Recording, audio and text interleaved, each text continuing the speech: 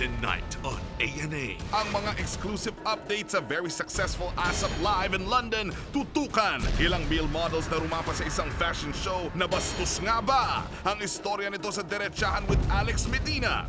1 million peso winner sa Deal or No Deal na sina Nicky Valdez at Kay Abad. Malapit na rin bang maging winner sa next stage ng kanilang mga love life ngayon? Abangan sila sa mainit na Q&A with Aquino and Abunda tonight after PBB 737.